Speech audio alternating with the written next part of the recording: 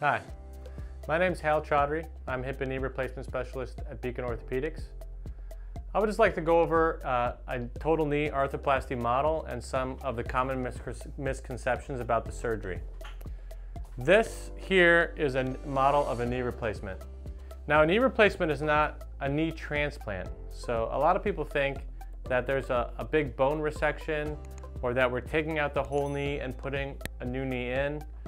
We are in a sense, but a knee replacement is more of a surface procedure than it is a complete knee replacement.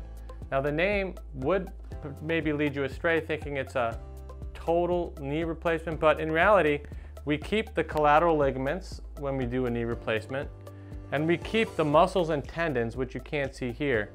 And the, the knee replacement is really just a metallic surface replacement of the femur so this is a surface metallic replacement of the femur.